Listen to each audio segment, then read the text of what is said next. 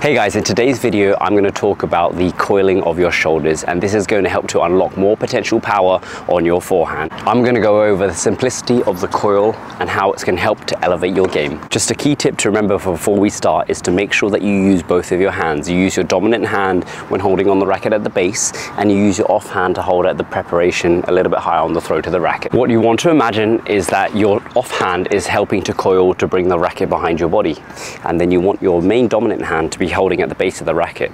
As you can see that the tip of the racket stays high in front of my body, what I do not want to do is I do not want to turn my arms by themselves. I want to imagine that the racket is connected to my belly button. So as I'm coiling and turning, as you can see with my body here, that my chest is out to the side and this is all down to my belly button. So watching how my rackets are coiling from here, this helps me to store the energy rather than me bringing my arms up to the side like this because then I'm getting no upper rotation of my body. Reason why I love this coiling tip, it's so effortless. You're able to store energy and relax into your shots. There is no need to prepare later when the ball is coming fast towards you and then you have to rush with your open swing. And as you can see, I've separated my racket from my offhand and therefore my timing is going to be slightly displaced. What I want to do is after that split set, as soon as I see the ball coming to my forehand side, I want to prepare out with my racket. And then this helps me when moving out to the ball and striking through my shots. So for one of my favorite exercises to help you with the coiling of your shoulders is to use your offhand to help start by placing the racket out to the side. It's usually in line with that back hip or even slightly behind the body. This to help you with gripping the racket, to help you storing that energy to release into your shots. Now for the full exercise, I'm gonna start with my right hand as I'm left-handed, but left hand as you are right-handed. You're gonna start with the racket out to the side, and then you're gonna grip the racket with your dominant hand, ready to strike. So hold, coil, and rip. Hold, place it to the side. And as you can see, my racket's already prepared to the side before the ball has even bounced. This just helps with the simplicity of your full swing. So prepare, grip, and rip. I'm going to show you a nice simplistic way to help you with your preparation on your forehand. What you want to imagine is that the tip of the racket is slightly angled upwards before you start your swing. This helps to help you with that continuous motion of dropping below the ball and striking through your shots. One of the best players to do this on the tour right now is Jessica Pegula. As you can see from the simplicity of her forehand takeback, she starts nice and high, dropping just below the ball and swinging. Another thing to mention about Jessica's swing is that she's very smooth and continuous. She does not stop on her forehand swing.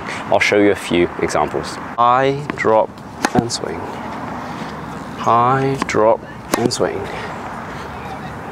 Drop, and swing. What I'm going to add to this stroke is I'm going to add a little bit more coil and rotation. So what we're predominantly working on in today's video is the upper trunk rotation. As you can see that my racket is stored a little bit further behind my body than where Jessica would have it. Jessica would release a little bit earlier. What I'm doing is I'm bringing my racket so it's in line with my back hip or just behind my body before separating with my arms to swing through my shot. So as you can see, I'm coiling a little bit further, but I have the same principle of Jessica holding high and then releasing through. Racket high with the preparation and releasing through. Two of the big stars in the men's game is Carlos Alcaraz and Novak Djokovic, to name a few. And these guys in particular have a very nice coil with the storing energy of the shoulders. It looks like they've slightly exaggerated the coil. As you can see, if I'm turning my shoulders like this, can you see where my chin is? It's slightly on my shoulder. And also you can tell that when I'm coiling here, can you see that my elbow is pointing towards where you are? So they're storing all that energy from starting position and then they uncoil and release their arm through. And as you can see, my elbow is finished through, my chin is on my shoulder on my other side. So I'm gonna show you a few examples when striking the ball to give you a better picture. Stored energy and release. I love that saying when you just prepare a little bit longer with your body out to the side before the ball bounces. All you need to do is kind of unravel after. So it's release, now I'm going to show you some of my shots in action at my full injection of pace. Let me know what you think. The difference now between my forehands previous and to now is the loading from the legs. As you can see, I'm driving up and I'm exploding into my shots. And with the added coil, I'm able to exaggerate and give myself that little bit more power.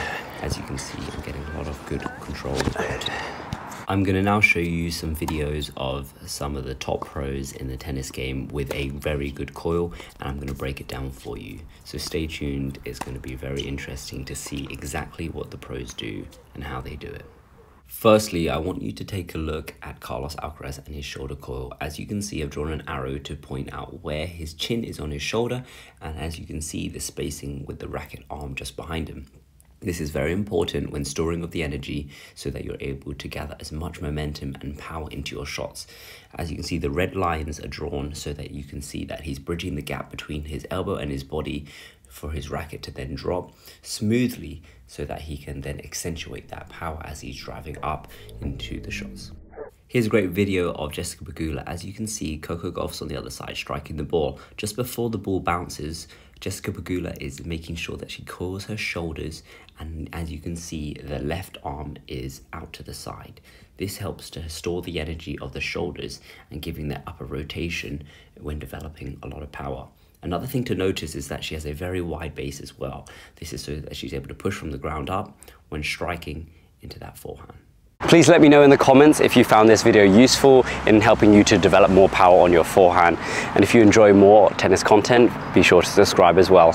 Take care guys and I hope to see you soon.